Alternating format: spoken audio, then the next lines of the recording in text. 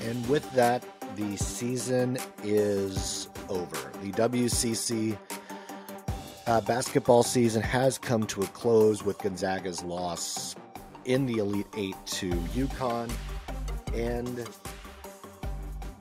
and what a what a ride it was for for the Zags. It's been a crazy season overall. It's to an extent there's like a a sense of relief when it's finally all over, but also obviously a great sense of just like disappointment, sadness, because that means college basketball is largely over for uh, the WCC fandom. Yes, we do still have the Final Four coming up this week, um, and that'll always that's always fun to watch. Uh, getting to see someone like FAU being in the Final Four is always fun, um, and UConn has been lights out to this point in the tournament. Obviously, both St. Mary's and Gonzaga can attest to that. Um, but here we are. Season is over. Gonzaga's season has finally come to an end. St. Mary's run ended a week ago, and we can close the book on the 2022 23 season. And as we start to wrap it up, uh, we'll I'll get into some letter grades for each of the teams, uh, each of the ten teams uh, later on in the show. Also talk to uh, Josh Linke uh, at the Zagaholic. Uh, we'll talk to him about just the the finality of the season for Gonzaga, what it looks like for them going forward, um, and just some perspective on what this season has meant for the program, and then also um, what it looks like going forward. Uh, before we get to Josh, um, I'm going to do my own recap of what we saw over the weekend from Gonzaga and really just kind of taking a step back and thinking about the season that they had. So I'll start with uh, the Sweet 16 game on Thursday, Gonzaga and UCLA. We knew going in that these two have had some classics over the years. We can think back all the way to 2006 with Adam Morrison. We can think back just a few couple of years with Jalen Suggs in the Final Four. And this game did not disappoint on that front. Uh, Gonzaga and UCLA gave us another classic, another night to remember in the NCAA tournament with a shot to remember in the NCAA tournament. Gonzaga got down early by 13. UCLA was playing really well uh, there in the first half. Gonzaga made a run in the second and even ended up uh, up 10 there late in the second half with like two minutes to go. And UCLA stormed back to even take a lead uh, with just seconds remaining. And then Gonzaga ran what is essentially the the uh, the Jay Wright play that we saw at the end of the of the Villanova's last championship. The the Kris Jenkins shot, which now has which now you can utilize as the Julian Strawther shot. And he took a handoff right on the base of the the the edge of the logo, the March Madness logo there on center court. Pulled up from three with uh, with no hesitation, drills it and gives us the lasting memory of another Gonzaga uh, win in dramatic fashion against UCLA. Strawther adds his name in front of his hometown crowd in Vegas uh, to just these another incredible win for that program, another incredible win for uh, another incredible moment for March Madness in general. Um, and it was that's what you want from a college basketball game. That was like the peak of what you want to see. Uh, what what March Madness is all about. The excitement of that moment, the excitement, the excitement of the end of that game was incredible. Uh, there's not a whole lot you can like. You can really like like on an entertainment value alone. It was just so fun to watch. Uh, Drew Timme was dominating in that game, 36 points, 14 rebounds. It was his 10th 20 plus point game in the NCAA tournament, which now he he is the sole record holder on that front. And going into the Elite Eight matchup with UConn, I and I talked about uh, this last week of like I thought we were going to get another classic from UCLA Gonzaga. We did, and then I thought that the run would end against UConn. That was what happened, but I could not have predicted in the way it happened. I could not have predicted that UConn would win by 28. I could not have predicted that Gonzaga would go two for 20 from three point range. I could not have predicted they would have gone 12 for 22 from the free throw line. I could not have predicted they would shoot 24% in the second half. And this is not a, I think this is less a criticism what of Gonzaga and more just how good UConn is each of their games have been by double digits. Their closest game was actually the game against St. Mary's, and that was a 15 point um, spread. This UConn team is as advertised, does look like the team that was the number one team in the country for the better half of the first part of the season. And it's a crushing way for it to end for the Zags. A crushing way, really, for the the Drew Timme era in Spokane. He already had announced that obviously this was going to be his last season. Uh, he announced that in the last game in Spokane that this was going to be it for him. And it came to a screeching halt. And a screeching halt very quickly in that second half against UConn. Became very clear that Gonzaga was not going to be able to come back from this. And it's always a weird feeling. Again, like I talked about this weird feeling after the St. Mary's loss. That when it's over, it's just over, and it's it's a mixed bag of feelings of like the of sadness, frustration, almost an emptiness once the season ends, and but that's where but that's where Gonzaga fans are today A little bit of this like what do I do now? This but if I take a step back and think about what this season was for that team, like they had an incredible year. Again, when you when you can have your season end in the Elite Eight, I don't think there's much more you could ask for.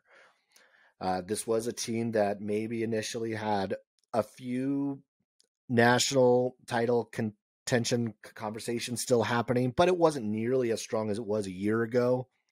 Uh, this was a team that looked like it was struggling there January, February, or well, I could say like December, January. Uh, you know, thinking about all the way back to when they lost to LMU, then they lost to St. Mary's, and it seemed like the sky was falling. They barely beat USF, they barely beat Santa Clara, they barely beat uh, a lot of these, a lot of WC uh, barely beat BYU, and it was like, what is happening with this Gonzaga team? But what we saw is that they just got better and better and better over the course of the year. We saw the growth of saw just more growth from Anton Watson. We saw Malachi Smith figure out his role in this on this team. We saw more growth from Hunter Sallis. We saw Drew Timme comp- continue to be his dominant self. We saw this Gonzaga team start to play better defense, much better defense than what we saw earlier in the year. And I think you could, I don't, now for me, I don't think the run was totally unexpected. I still, going into the tournament, thought this team was still a second weekend team. Maybe it looked a little dicey there in January. Uh, but by the time we got to February, late February, it was very clear that this Gonzaga team was not the same team we saw in Jan- a month prior. That this team was playing its best. That this team was pl- that ha- seemed to be clicking on all cylinders. And you get to the second weekend, and I think you can clearly say, especially for a program like Gonzaga, it's like that was a success. An eighth straight year in the Sweet 16. I believe it was the fifth Elite Eight in the last eight years for this program. And yes, they did fall short of the Final Four. They fell short against a team that clear looks like the clear favorite to to win the whole thing now. And it's it's now time to kind of have that that retrospective look and think about what this team was as a whole and also I think in this stage it's also what Drew Timme meant for Gonzaga, what Drew Timme is going to be remembered for I think as as a legacy piece in college basketball because he you very arguably like he was one of the few like faces across the sport that everyone recognized. Everyone know knew who Drew Timme was. Whether it be for like his his podcast or the comments that he or his interviews and his and some of his uh, bite uh, clippable quotes that you could point to, or whether it be the mustache or any number of things that like made Drew Timme just a staple for the college basketball fan over the last four years. Like it's going to be hard to not have him in the conversation with some of the greatest players ever. Yes, he doesn't have the championship, so maybe that does knock him down a little bit on that front. But when you think about some of the names that he's now surrounded by when it comes to tournament performances, I was because I was looking at it and this one didn't happen, but he is now one of 10 guys to ever have 300 or more points in the NCAA tournament. 10. And the list of the 10 is is like a who's who of college basketball. I mean, we can it's the likes of Tyler Hansbrough, it's Christian Laettner. Uh, the number the the guys that he joined in are right around him Corliss Williamson, Bill Bradley, uh, Lew Alcindor, Kareem, uh, Glen Rice. You have so many guys that are household college basketball names, household NBA names that he is now surrounded by, and that is the legacy he's going to leave. Again, he played in three NCAA tournaments, did not get to play in the first one because of COVID. And that was, and he played in a national title game, the Sweet 16, and he got to the Elite Eight. I think if you asked any college basketball player, any star college basketball player, uh, if that's the career that they would finish with, I'm sure that almost every last one of them would take it and and be incredibly happy with it. And yes, the, a championship didn't happen, and that might be the one thing you can point to that he didn't do. But he checked every other box. He was he changed he continued and solidified the dynamic of Gonzaga as a national con- title contender after the 2017 run. This was this got this guy became the anchor of that next wave uh, for this team, and they were in it every single year. You had you couldn't exclude Gonzaga because because they had the best big man in the sport, and he was the best big man in sport for largely the last three years.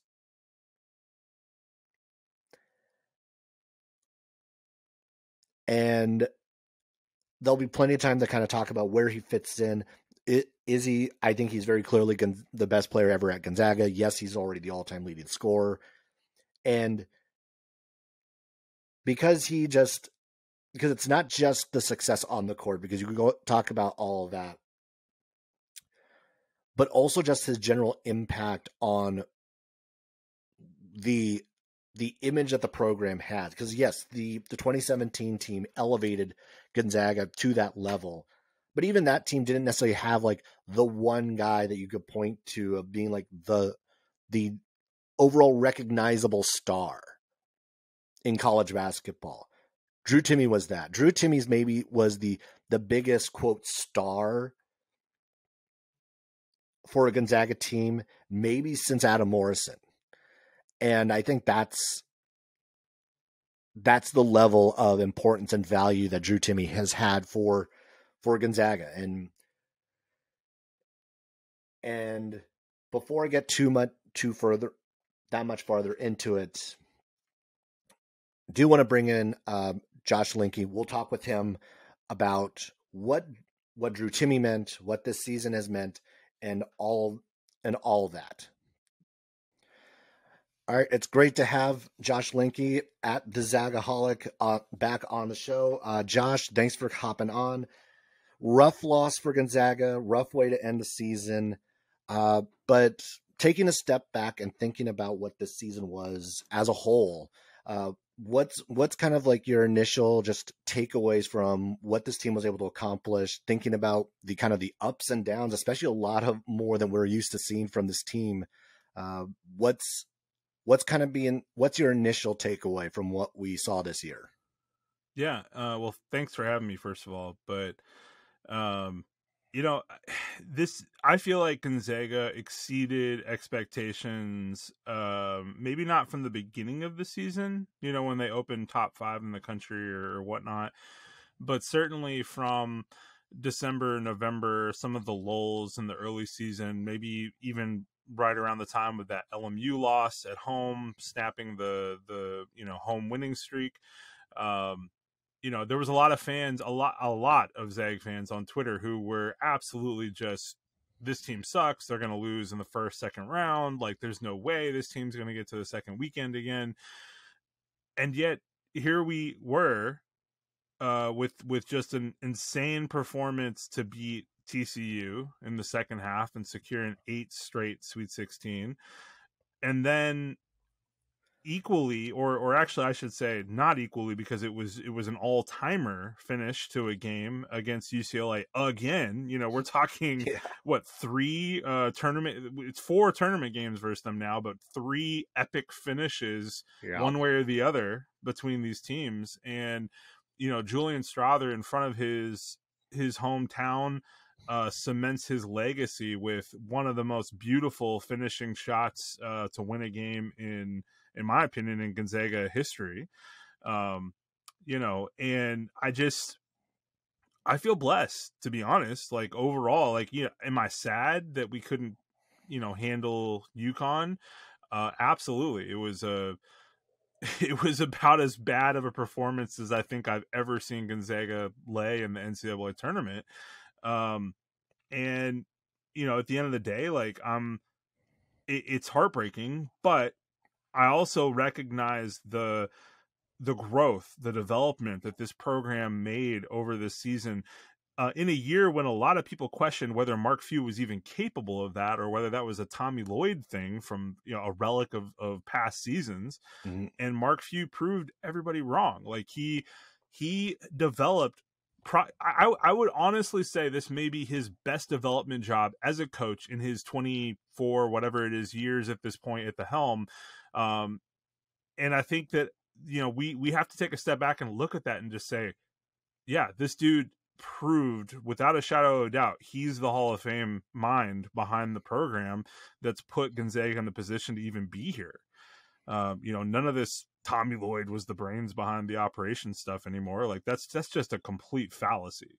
So yeah, I it's a mixed bag of emotions at this point. Obviously, we are less we were 12 hours if if even that away from right. uh, the results of last night's game but you know whatever here we are exactly and as even i mean i think about just how impressed because i think about this tournament run and and we saw toward as you kind of pointed out they got seemed just to seem to get better and better and better as the year went on. Yes, they had that lull right around December, January, lose to LMU, lose to St. Mary's. It almost seemed like the sky was falling to an extent. Mm-hmm. Uh, and this team just it you could just see like the confidence grow in them after almost at the point of the St. Mary's game and that first matchup in Moraga and moving on from that, just seemed like their their confidence just seemed to grow and grow and grow. They they were a lot more in sync with each other. The defense was much better after that point um, collectively, and I think that's you as you talk about that development. Like we got to see that more and more. Um, and yeah, like that UCLA game was an all timer, another one between these two teams. Like I, that was just an amazing finish. Like just the the fact that the Zags were able to come back after after halftime, they got up by ten. UCLA found a way to come back in the last couple minutes, uh, yeah. and yeah, just it, it was funny. I was like, I was as as Strawther hit that shot, I was I was thinking everyone in Provo just cringed at that, at that is the mirror image of that shot in the Marriott Center. Uh, yeah. And, but looking at this year, because I think the one of the things it almost seems like we're coming to the end of an era here with the Zags because this is the end of Drew Timme and he's going to be uh, moving on to the pros after this year. And I mean, we could talk about every superlative about him being one of the best big men, if not the best big man in the college game the last few years. He's obviously an all timer at Gonzaga, if not the all timer at Gonzaga. What's sure. what's what's going to be his legacy, or what like in your mind right now is the legacy he leaves? Not only obviously in at Gonzaga in the WCC, but also college basketball as a whole, because it like he's on every all time list at this point. Yeah, I mean, it's it's hard to quantify the impact that Drew Timme has made on this program because there there are so many uh so many accolades that he's accumulated at this point whether it be awards or broken records or you know just the sheer number of heights that the program achieved during his time with the program um, you, you, could make an argument that Timme is the greatest Zag of all time at this point. Uh, you know, simply from the perspective that the longevity, the loyalty to the program. Um, you know, he made some comments last night um, following the loss to UConn about you know his place in the program and where he sees himself and, and whatnot and and he he said it in my opinion the best way possible which is to say that you know he he doesn't necessarily care about all the the accolades and the records and everything what he cares about is the fact that this program is home for him now you know he was questionable originally about even going to school thousands of miles away from home from Texas, you know, coming all the way out to the Pacific Northwest. But along the way, he found a second father in Mark Few, which you know you say what you will about Mark, and, and we you know we already talked about that a little bit, but um, their bond, their friendship, it just proves the level of family that this program has. And I think that Drew personifies that a little bit, like just in his his undying love for the program at this point. You know, um, he's been here for four. He was a true senior, four years, played every single year as a contributing member for the program. The last three as a starring member for the program, and you know unfortunately lost a year to covid um, or rather the, the tournament to covid but he still somehow has finished what what is it uh, i think he after last night he's like 11th or 10th or something I, in I top most points 10 10 on the most yeah. and one now one of only 10 with 300 or more in the in ncaa tournament games Right. And then he also set the record for the most uh, games with 20 or more points in the tournament, had having already been tied with guys like uh, Corliss Williamson and wasn't it Kareem on that list Bill, too? Like, Bill I Bradley. Mean, it's a, the yeah. list is the list is incredible. Yeah, and and that just shows like you know this is a guy who he he showed up when the the the bright the lights were brightest. He arrived on the scene and he just never relented. Like his desire to win was you know second to none and i think that just speaks to uh where gonzaga is at as a program you know like we could we could have the discussion like is this the end of an era or is this just the beginning of a different era like where you know we i think a lot of people thought after the 2017 national title run uh where you know where we fell short and Nigel left and all that like well well that's probably that's probably the pinnacle for Gonzaga like that's not going to happen and then you know, sure enough, a few a few years later, here mm-hmm. we are again. Um, and I just think it, it it speaks to like Coach Few is evolving. You know, he's he's trying to uh you know integrate new ideas and concepts with the team every year like i don't i don't i don't necessarily see it as as the end of of run more so just the end of Timme's run mm-hmm. yeah i i I agree with that. Yeah, definitely when I say that, it's more like the end of like it's the end of the Drew Timme era. Like because obviously Gonzaga's extended this run. It's like and it's the the idea of the championship window and what exactly that looks like because you can obviously right. we can go to tw- back to 2017 and really ever since then they've kind of been at least in the conversation every single year since then. Even at the beginning of this year, I think there were still some people, even despite losing uh, Chet Holmgren, despite losing Andrew Nembhard, that conversation was still there because you had Drew Timme. Yeah. But now, as you kind of like start to roll into next year and start to think about where this team is going, because it's going to look probably very different going in the next year. Obviously, you know you that Drew Timme will be gone. We know that Rasir Bolton uh, is out of out of eligibility, so he'll be gone. There's a likelihood that Julian Strawther will will follow the path and go and jump to the NBA. Same could be said for Anton Watson. So this could be a, this team could look very different going in the next year. Absolutely. And what's what's what's kind of like the I guess the the the the way too early prospectus or the outlook of maybe what this Gonzaga team is going into next year. Yeah, so we're definitely going to lose amazing talent across the board, and, there is a question mark about whether Anton uh, will come back or Malachi Smith potentially coming back. Um, if they're both back, that bodes well for this team being potentially a top four seed again. You know, I don't know if they're going to be making a national title run, but certainly a tournament run of some sort. Um, but you know, yeah, the the big question mark for this tournament and going forward is guard play. Um, you know, we we all witnessed what was uh, kind of it's I don't want to I don't want to rag too much, but kind of a collapse of sorts uh, for Gonzaga's starting backcourt during this March. Um, and and there was a period where Malachi Smith and Hunter Sallis came off the bench and kind of like you know gave us a glimmer of hope, but um, you know now going forward you you have to wonder like is mark going to try to hit the portal and um you know maybe grab a couple of more seasoned vets to um shore up the backcourt? Or is he going to rely on on nolan hickman hunter sallis um hopefully malachi smith to spearhead the backcourt, and then uh, incoming four-star freshman um, Dusty Stromer from California, who actually just wrapped up a state title in California.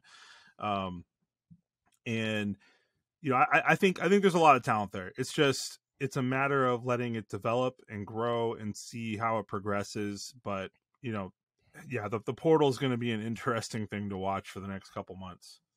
Right. I think the port. I mean, the portal has definitely changed a lot in the last couple years, and some teams, as as the tournament is very clear on, it's that you can get the pieces and put something together very quickly. We look at Kansas, what we look at Kansas State, Florida Atlantic, and some of the things that they've done. San Diego State, what they've been able to add. So we know that uh, you can build fast and build a cohesive team that can do well in the tournament through the portal. Um, yeah. As we start to kind of like think about, because I'm starting to think about some of the guys that are that I that I think are going to be really good going in the next year for Gonzaga. It's like one of the guys that just was jumping out to me more and more as the season went along, and the same could be said for um, a number of other people who saw him play. Was Hunter Sallis just just looked like he was just getting better and better and better as the year went on, and and obviously like he was one of the more highly touted guys coming in when he came in as a freshman a year ago. He's gotten more playing time. He looks like he's starting to kind of feel this out. What's what's kind of like your read on like what Hunter Sallis could be going into next year, and then also who is there someone else on the roster right now that you see as like a that you're excited to kind of see them grow and what they could become? Yeah. Um. So for Hunter, I feel like you know a lot of people have claimed that he's our our best lockdown defender on the perimeter, and I think at times he's shown um he's shown flashes of that for sure. There there's also been some moments where it's like, oh, well, maybe not quite as good as people are are making him out to be on that end. And then there's the issue of his his jump shot um, and whether he's going to be a consistent contributor on offense at any point during his career. Mm-hmm. I think that he has all the tools necessary to become a star at Gonzaga. The question is, is he is it is the light bulb ever going to go off? And is is he going to like put it all together? Because like we're you know we're heading into his junior season um and as of yet he's still kind of like figuring it out. Um there was definitely growth this season you know overall and i think he had especially like in the in the UCLA game like he showed that he can be a reliable contributor um, in in lots of ways on the court. So I'm I'm excited for his future. I truly do think that he has all the physical attributes, um, all the skill sets to be able to become that star that we need him to be but um you know i'm going to also be patient with with that process because it's you know he's grown to this point from as a freshman and uh i think that there's just a lot more growth to see as time progresses and really it comes down like you got to have an amazing off season like you got you got to put put in more maybe more work than you did all season in the next several months um, to take that next step and become cement yourself as that starting um, you know guard that Gonzaga needs, that lockdown defender. Um, even if your jump shot's not 100% there, like he's a natural cutter. He's an amazing cutter. And I think that there's a lot of places he could fit in uh, to the rotation offensively um, that maybe haven't quite been utilized to the highest level yet as far as another player I see on the roster that could potentially break out, maybe like a dark horse sleeper uh, kind of player, I I think that uh, Braden Huff, who redshirted this season, um, is a guy to keep an eye out for uh, in the next year or two. He has uh, some unique skills that you know he's a front court player, um, but he's a stretch shooting forward and uh, you know, by all accounts, from conversations I've had with people in the know, he has been a, a godsend in private scrimmages and practices, and uh, out at the warehouse where John Stockton has uh, historically run workouts with some of the players. Um, he's he's been you know an excellent player in, in those runs. I think that he has a chance to really emerge uh, next season as a, as at least a, a, contributor, and then into the year after potentially as a starter uh, with that with the program. So it's a it's a name to keep an eye on. All right, we'll wrap we'll wrap this up. So, Josh, what's something that now that you have a bit more free time now that the season is over, what's something you're gonna uh, get back to doing a little bit more of now that we have uh, there's not there's not there's not as much basketball to watch at least over the summer. Yeah. Well, um I still I still have two podcasts. I got the Zagaholic podcast and Switch Everything, which is kind of more of a, a national scope thing. So I'll, I'll, still be talking tons of college hoops mm-hmm. as the off season progresses. Um, the fever never quite goes away. Um, I'm working on a project of ranking the greatest college basketball programs of all time and doing some sort of a, a run on that on the Switch Everything podcast. Um, and then on the Zagaholic side, we got a lot of conversations to go over in the next few weeks. Uh, there's rumors out that Gonzaga could potentially be invited to the Big 12, um, you know, in the next realignment chapter. And uh, so yeah i to be honest like i have no life. I'm i'm all about my family and college basketball. That's pretty much it for me.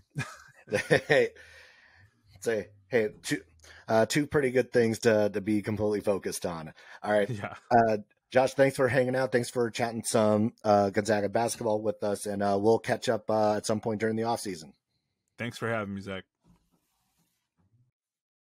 All right. So now that we're wrapping up the season, now that we're getting close to the end, or that we are at the end, I'm going to give some final grades for each of the 10 teams, and I'll go through this pretty quickly um, and then wrap it up. But before I do that, I do want to again say I want to thank all of my guests throughout the course of the season. Uh, we'll, we will continue to do more um, episodes throughout the course of the off season. Uh, they will be a little bit more infrequent uh, than we have had during the season. Obviously, we've been doing on a weekly basis during. It'll probably be a little bit closer to every like two or three weeks during the off season. So we'll start building toward next season. Do some. Uh, we'll take a look at the NBA draft. We'll take a look at the portal and all that sort of stuff in the off season. So I do want to thank all of you who have who have listened over the course of the year. I want to thank all of you who I've gotten a chance to meet, and I've really enjoyed getting uh, engaging with you on Twitter, talking with some of you um, at games and everything else. It's been a great season. Uh, so I'm looking forward to next year already. I'm excited to already excited looking forward to next October, November when we can get back into basketball and really start to see some of this action and how these teams are going to play out. All right. So final grades. And I'll start with the the last and final grade of the team leaving the WCC, and that's BYU. And for BYU this year, I'm going I I have them as a B minus. And I say B minus because I think the expectations were relatively low for this team. And standings wise, they kind of met the expectation. Like, I think a lot of people thought that they would be right around the fifth spot. I think that's where I had them was fifth, fourth or fifth. And and they just didn't they were good enough to not be good enough. And I think that was the frustrating thing for BYU all year long is that they played so many close games, so many and so many games in which they should have won, could have won, and they didn't for for various reasons. I don't think we got to see a whole lot of growth out of out of the guys on this team. I think that was the other maybe disappointing thing is that I don't know if I if if we saw a ton of growth from any of the players on this squad. And Rudy uh, Rudi Williams kind of was exactly what we thought he was. Uh, I Fus Traore was exactly what we thought he was. I we didn't maybe a little bit of growth out of Spencer Johnson when he came back and had to be more of that guy. Um, so it was good to see him kind of step into that role a little bit. Dallin Hall had ups and downs as you would expect from a freshman. Uh, we did get to see some great things from him, but we also got to see some not so great things from him. I Gideon George, I think, was a he was a fine player, but he's not. Again, we talked about this BYU team. It's like they lacked a number one. They didn't have a number one. I don't even think they had a number two. Uh, when you think about teams, what you need to be successful and be a very good team, BYU just was missing those components. They had a lot of great role players, a lot of great guys you need uh, to have a winning program and have a winning team, but they were just missing your like your like leaders, your the guys who are going to take over the game, the guys you scout, you really like uh, put in your scout team for. Like that was what they were missing. So B minus feels about right for BYU going through these alphabetically. So as what so just an FYI as you start to hear the names. Uh, next is Gonzaga. This is an A. You get to the Elite Eight, it's an A. And yes, you can nitpick about guard play and the fact that uh, down the stretch they really didn't they really didn't show up all that well. Nolan Hickman, Rasir Bolton, but but the grand scheme of things, the end of the day, they shared a regular season title with St. Mary's. They won the tournament title. They had some. They had a great um, non-conference schedule, and they did very well in that.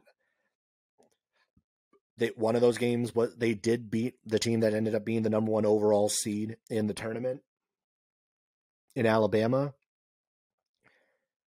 and they finished in the Elite Eight again. Like I can't emphasize the, that enough. Of like when you get this far, it's an A, especially when the expectations mid year, maybe even like early on in the year, weren't as high as they had been in previous years. Last year was definitely a championship or bust year. This year was uh, expectations were quelled a little bit, but hey, you get this far and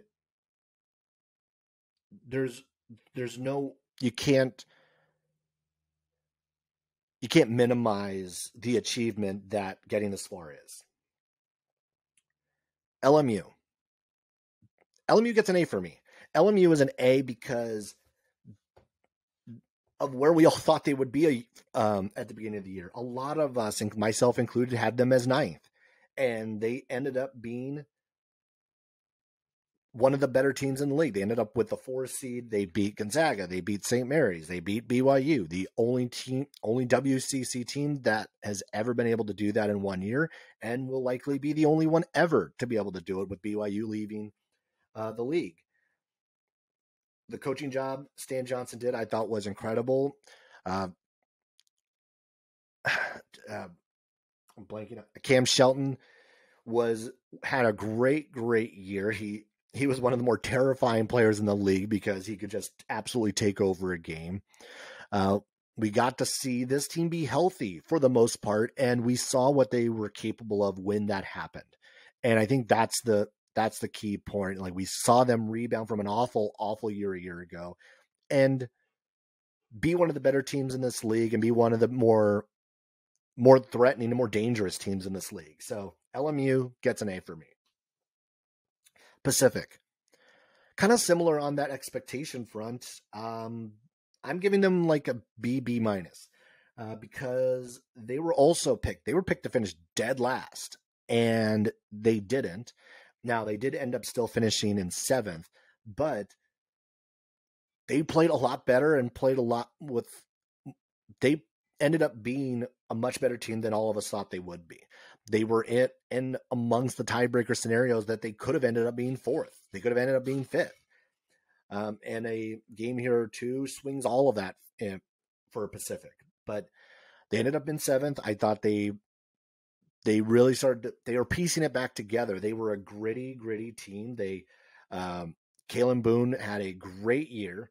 Um, this is a team I think that Leonard Perry is starting to kind of build in his mold a little bit more of what we saw under Damon Stoudemire. This is going to be, I think this is going to be an interesting team to watch moving forward. Um, but yeah, solid, solid B, B minus. That's what I have for Pacific. Pepperdine. Well, I think there's no other, there's no sugarcoating this one. This is an F. And it's not about individual performances because individual performances, I mean, Jevon Porter had a great year. Max Lewis had a really good year. Uh, Houston Mallette and Mike Mitchell had solid years. Like you can point to any number of guys that had good performances. But the bottom line is this team finished in last and had, and there were a lot of expectations for this team coming out of the summer. There were a lot of expectations going into the fall, and they met none of them. And with the team with this much talent, that should not be the case. They should. This is not a team that sh- this should be happening to. And it's going to be interesting going in the next year because we already know that you have three starters that will be leaving. Mike Mitchell uh, Jr. and uh, Carson Basham have already um, inserted their name into the portal. Uh, Max Lewis has already entered his name into the draft. So this is it's going to be a I think it's going to be a rough off season for Pepperdine. We'll keep an eye on them, but it was a nothing went right for that team and it's it's going to be a uphill climb for them going in the next year. All right, Portland. Portland. Portland is an incomplete to, for me because this team was so banged up all year long that they never had their entire lineup the way they wanted it to at any point. There were brief moments of it when they finally actually had Mike Meadows and Tyler Robertson and um and and Woods like all all on the floor at the same time, but that was few and far between. And so this became just a hard, hard year. And I think the expectations changed when looking at Portland. So I think a lot of teams went in with a little bit more. There was less overlooking of this team than a year ago and and I think we saw that. I mean, we still saw what Portland was capable of at times. I think they were still one of the more dangerous shooting teams in the league. Uh, but this was a team I felt that like, like we never got to see what they really could be. And next year it's going to look different. So we'll.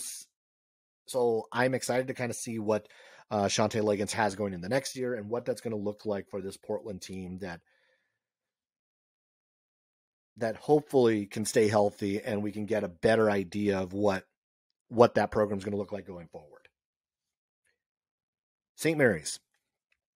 This is an A. Second straight five seed um, in the NCAA tournament. They shared the regular season title with Gonzaga. They did beat Gonzaga for the second consecutive year uh, in Moraga. You had great performances. Logan, you can talk about Logan Johnson, Aidan Mahaney, Mitchell Saxen. Um, I, I'm still would have loved to have seen that game against UConn with Alex Ducas. I don't know if he would have made a ton of difference in that second half, but it does feel like that game would have been a lot different had he been healthy. Um, but again, like you take the season in totality, you think about what this team was able to accomplish, the seed they had. They did win another game in the NCAA tournament, and yeah, this this program, much like Gonzaga, is I think in a very good spot. They're moving in the right direction, uh, and you can't take away how special some of the accomplishments were of what they did. Uh, would it even be better if they had advanced to the Sweet 16? Of course, it would have and maybe they didn't quite meet my expectations on that front. I thought they were a second weekend team, but it's always matchups. And UConn, as we have seen, is probably going to be a terrible matchup for everybody. So I don't think you can take that much away. You can't use that game as something to take away from what this team accomplished. This uh, that St. Mary's team, it's that's an A for me. San Diego. This there's a lot to unpack with San Diego. San Diego was you bring in Steve Lavin, new head coach, a well established name. The roster almost has a complete overhaul. You have only, I think it was like three returning players from the, the prior year. So this was going to be a work in progress. And the work in progress really was a work in progress almost all year long. Uh, this team just did ne- never really put together a solid stretch of games. They never really started to figure it out. They could score a bunch, but they did not play defense well. They did not. They just and they also couldn't stay healthy. So this was a lot. There were a lot of different things happening with this team that just made it hard for this team to get any level of consistency. And so for me, also because like there were some weirdly high expectations for this team, which I thought was odd on the external front. But with that said, just thinking about where they finished, they finished in eighth, and or sorry, they finished in ninth, and just thinking about where this team was, what we thought they might be going into this year. I mean, they didn't meet expectations, but they didn't didn't they were also not what I thought they would be either. I thought that they would be at least a little bit more competitive than they were. Uh, so, for any number of reasons, I have this is a C minus to me. This is a C minus. USF.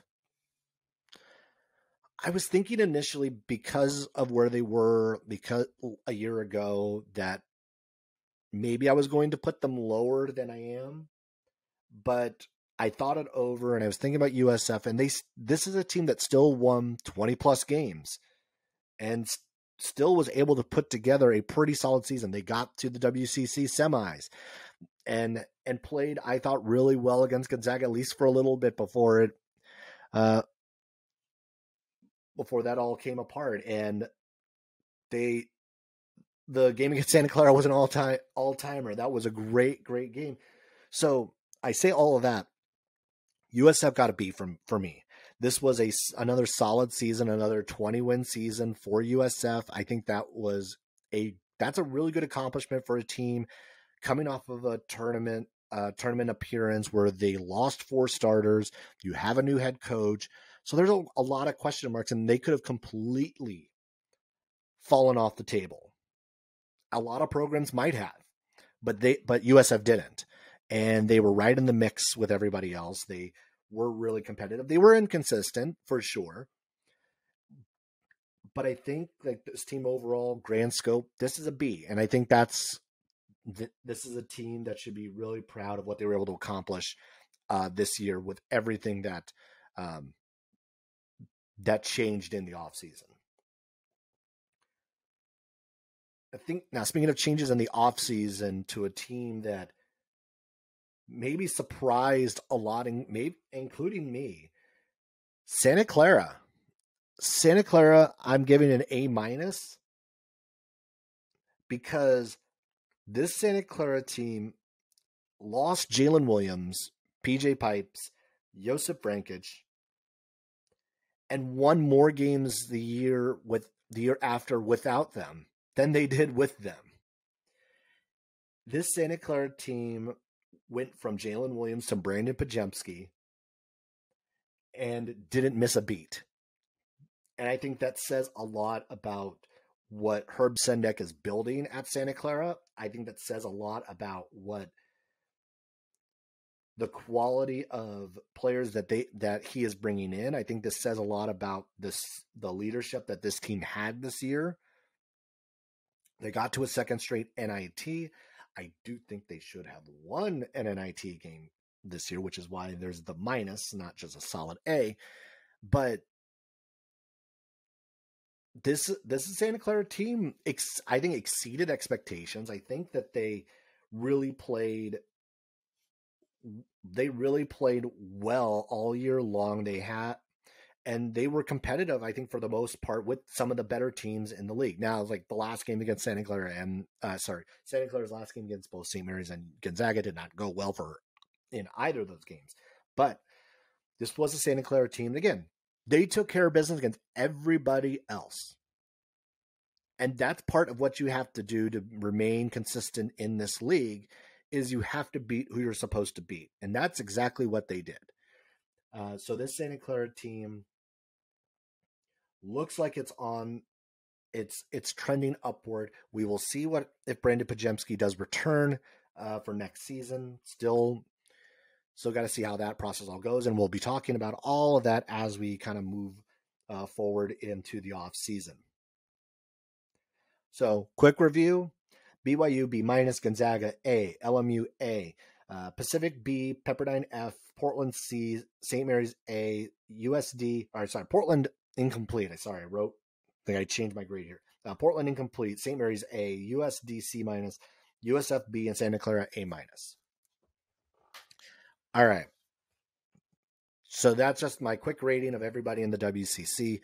Uh, so that will wrap up this episode of the unofficial WCC Hoops podcast. We are at a close of the 2023 season.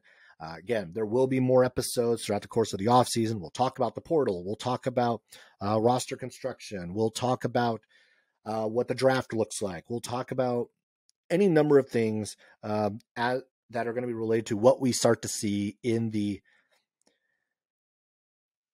in in the out of conference, what next season is going to start to look like, and all that good stuff. So, uh, again, thank you all for listening throughout the course of the season. I hope you stay stick around for uh, the off season talk and everything else. Uh, be sure to you can still engage with me on Twitter or TikTok. You can still engage with me. Uh, like uh, by responding, leaving comments or whatnot on on the podcast sites.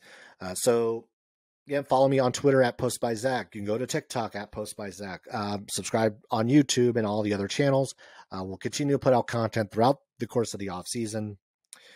Um, and until until next time, if I don't, if you stick around for the off season, great. I will I will see you in a couple of weeks. If not, uh, I will see you in no, October, November for the start of the 2023-24 season. I'm Zach Farmer. Talk to you later.